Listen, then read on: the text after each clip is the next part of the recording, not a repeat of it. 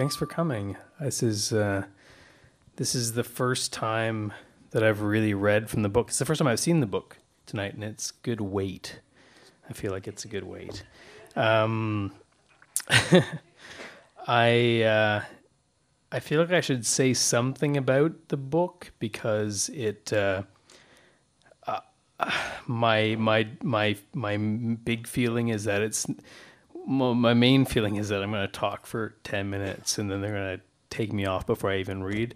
But the um, the the uh, the big thing is that it's it's it's the kind of a book that um, builds on all the coincidences coincidences and links between the sections, so that reading any one part is probably not going to give you a great idea of what's going on.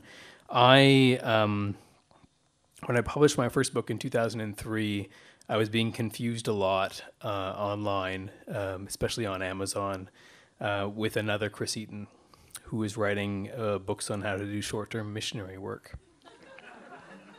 Um, and so, if you liked The Inactivist, you might also like how Jesus might affect your life, things like that.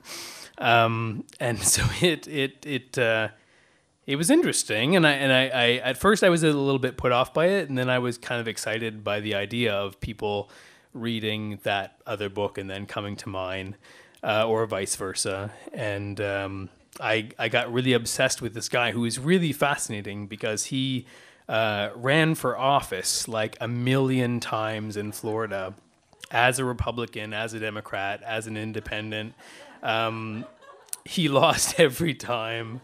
Uh, there were like transcripts of um, of some of his debates. Uh, one of which I put in the book.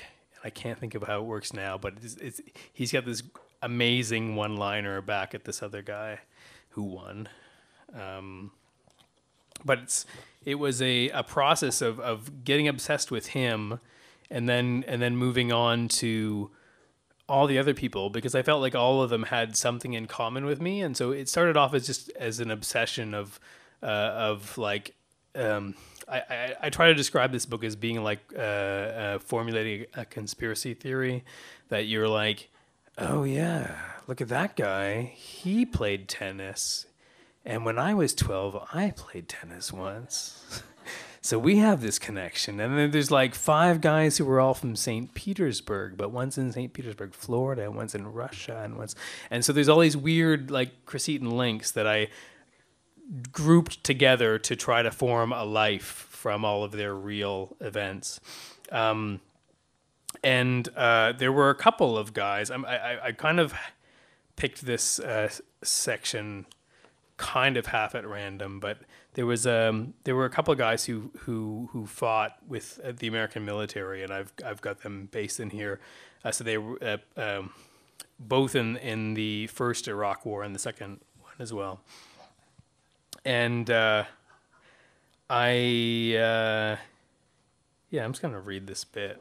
So this, this is this is, there's a soldier who goes off, and he's assigned to latrine duty, and so his job is to dig um, toilets, just dig pits to put shit in. But then everybody gets dysentery from eating kebabs, and then they um, he he has to burn it all. But then he um, he doesn't get any problems.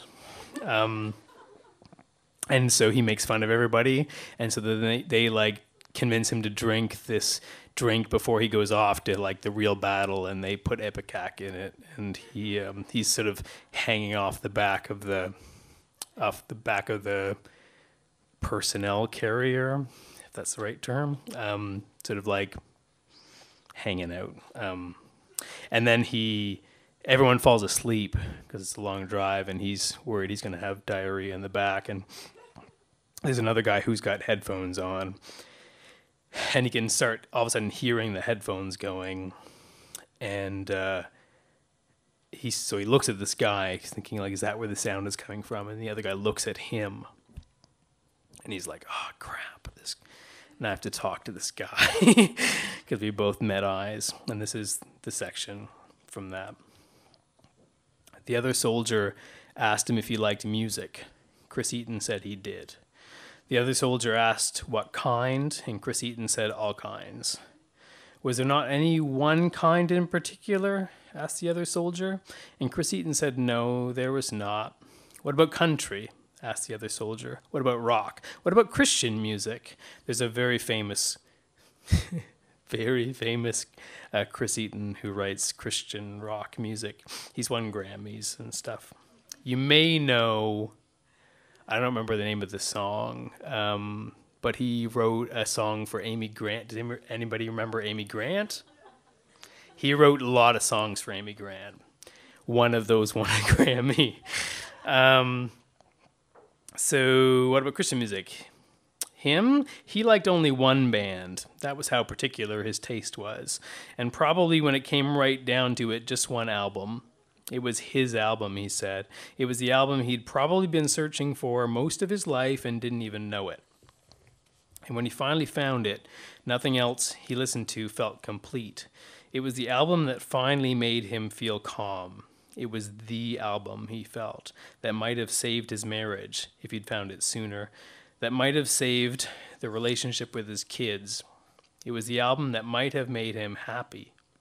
Chris Eaton reconfirmed that he liked all kinds of music, that he found them all interesting and appealing for a variety of reasons, and that he tried whenever he could to venture outside of his normal comfort zone to seek out new auditory experiences. The other soldiers suggested Chris Eaton had just not found the right one yet.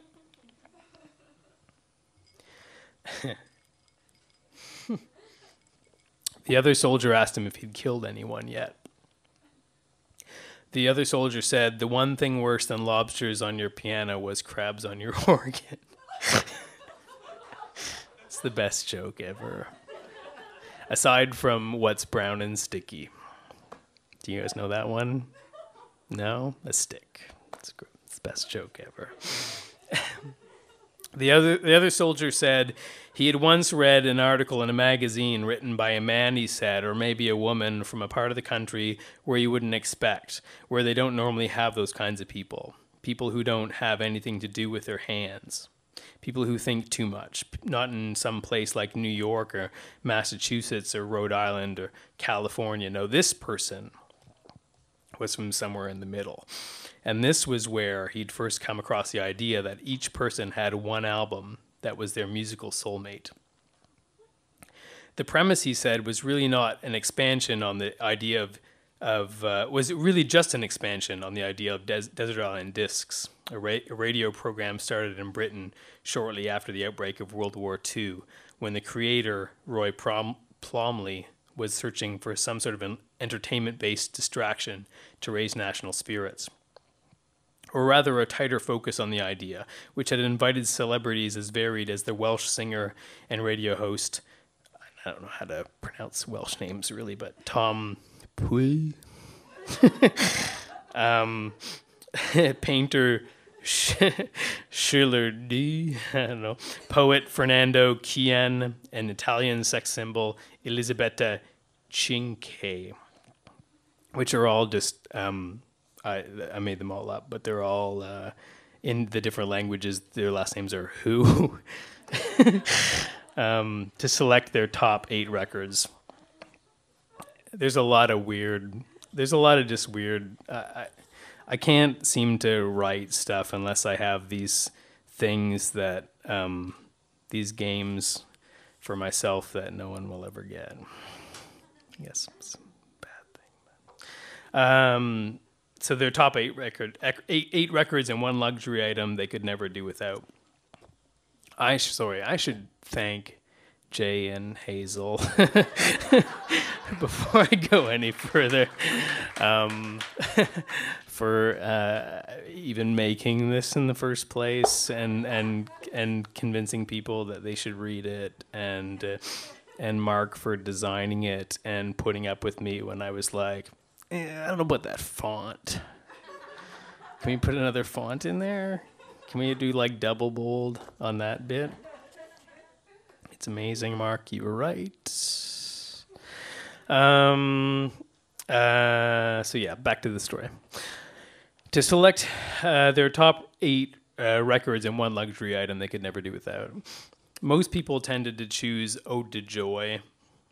And this is this is all like kind of you know if you went look back at uh, Desert Island Disc, you'd find there's a lot of people who choose Ode to Joy because it's really safe. You can be like, oh, I like classical music. um, so you know to not appear too lowbrow rather than choosing something as base and popular as In der Führer's Face, which was a big popular song at the time, or Mairzy Doats, you know that one? That's a great joke too. Mairzy Doats and Dozy Dotes and Little Lambs Eat Ivy. I always thought that I, I actually it, it took me until I was probably in my early 30s to realize that those were real words and not just na- nonsense sounds. Um, or we're gonna hang out the the washing on the Siegfried line was a big hit at the time. Um, but the first few guests are most notable for interesting selections, like Louis Jordan's uh, "Swimming with the Fishes," or Chip Shorter's "The Blackout Stroll," or Louis Armstrong's experimental jazz number, "A, prefer- a Prevaricated Horn Shot." Um, there's a lot of uh, I, I I did a lot with um, anagrams of my name, so a prevaricated horn shot is just a Christopher Eaton, I think. Um, selected by uh, Schuller Dye, who, again, is somebody I made up, in which the middle trumpet solo is actually just Armstrong trying to mimic the sound of his instrument with his lips. Pui, for his luxury item, chose a bottomless bottle of Dalwhinnie, and the American critic from the magazine he'd read had taken this premise one step further, suggesting people might be happy, happier even, with just one album because this would remove the stress of having to choose between those eight every day. And the critic used as an example the life of someone the soldier was unfamiliar with, someone he had meant to look up, but as of yet had not. In fact, he'd all but forgotten his name. Because the most interesting thing about this person, this happiest man, was not his name, but how he had started his own musical journey through life and how it seemed to mirror the other soldier's life so precisely, listening to his parents' old jazz records uh, on the wrong speed, which was this thing I did when I was a kid. Um, they, uh, they, I have these two main uh, memories of music as a kid, and one of them is that this friend came over and was like, Elvis died. and she was crying so hard, and I was like, oh my God, it was Elvis? um, because I was six or something, and I had no idea. And I don't think she even cared about Elvis before that, but it was like this, you know, important event. And the other thing was this record that my sister and I used to live, listen to all the time um, by the oh, I'm gonna screw it up. But the I think it's the Andrews sisters. The Andrews sisters sound like they're way bigger than this, but it was it was the Something Sisters. Um, and they had this album. They they had a lot of albums, but they had a song called Banana Split. Um, that I still know all the lyrics to, even though this is something we listened to when I was six. Um, and we didn't know how to use a record player, so we didn't realize that a 45 was on a different speed than, a, than an LP. So we would put these 45s on, and there'd be this like trio of sisters singing this song, but it'd be like banana split, and it was the best. We thought it was the best song in the whole wide world. And I did an interview a couple years ago. Um, you know, the, uh, I, I played in a band for a while, and there was this um, somebody interviewed us, and they asked me about my formative music, and I described this song to them, and the person found this song, which I had never been able to find, and s- slowed it down digitally, and then put it on as an MP3 on their website. So I've been able to hear it since, and it's it's amazing. It just sounds like a bunch of old like fat guys, just like banana split. Yum yum yum. Anyways, that that's in here somewhere. um, so listening to his old uh, parents' jazz records on the wrong speed, thinking music was a plodding thing, heavy and thick like gobs of batter falling from a spoon. Being introduced to the music of Charlie Hardin, which broke everything wide open, obviously owing a ode to Elvis, but without the king's fattening showmanship purchasing everything Hardin, every Hardin record he could find. From what he thought was Hardin's self-titled debut, a common mistake and not made just by the two of them, to the third album, The Grey Fog. I don't even know what that reference is anymore. They, um, I, my other big memory of, of music as a kid was I was really into um, Buddy Holly and then I found an album by the Hollies, and I was like, "Oh, great! His whole band got together, and they made an album." And then I went out and bought like eight vinyl copies of Holly's records, which you wouldn't think there'd be that many even, but I bought them all, and then I was I, I suddenly realized like, "Oh yeah, that's the guy in the the day the music died, um, who died." So it wasn't him. Um, uh, so even after the singer guitarist died so prematurely, and they continued to release greatest hits packages with smatterings of unreleased studio recordings for the next ten years, this led to the discovery of the British invasion, the Beatles and the Rolling Stones. Through an honest, hopeful mistake, a record by a band called the Hardins. This is what I was talking about too early, who had no real connection to Charlie and were not particularly good. The other man went to Vietnam too and opened up a music store, and the soldier began to believe that the article had actually been written about him specifically. He thought it was a sign, and he began weeding down his own collection as if by a message from God, immediately tossing any record he had not listened to in the last five years. Then one year, then six months, then writing down very selective criteria that had to be met by the remaining hundred or so records to stay on this shelf. That it had to be influential in some way and couldn't be simple to classify as a genre and had to be somewhat obscure because he didn't want his special disc, his one disc that he could choose, to also possibly be someone else's disc without being entirely pompous. Then he basically just decided to remove the half dozen classical records because how could they really speak to him when they were weren't from his generation? And anything with a saxophone or a banjo until one day he was down to his traditional eight desert island discs which he had set up head to head in a tournament bracket until he had one winner and those eight records were the doors narrative chap which is just another anagram of my name. Uh, 1978, one of the three post Morrison albums, which is all the other soldier would listen to, because as far as he was concerned, there was only room for one Morrison on the list. Van Morrison, yeah. With an album cover that featured a photo of a private ranch, presumably uh, Jim Morrison's, that fit the title particularly well. Then there was Van Morrison, and Fleece, which is my one album that I will only ever listen to from now on. Uh, Charlie Hardin, self titled. Chip Shorter, Rave on Data, also a lesser known later work, uh, collaborating with a trio of young turntablists named Patri, Vitaro, and Hirsch. Uh, Stina Verda Ch- uh, Charo, which is a album that comes up a lot in, in the book. Um, uh, she's a young musician, kind of. I don't know, like uh, who's that young Brazilian singer? You know what I'm talking about? Not something like that. No. Anyway, but based, but but but inspired by Charo, who was in all those like '80s. Um, Shakira, that's right, Shakira, and it's like, but also her album's called Charo because Charo, who's like Chicky Chicky, that guy, that one. Um, the Welsh guy who can't who I can't pronounce, uh, Hot Arsenic, Chet Nasario, Hardtop Rev, and Chris Eaton. She was a big freak, which is um, another album that comes up in the album in the book a lot.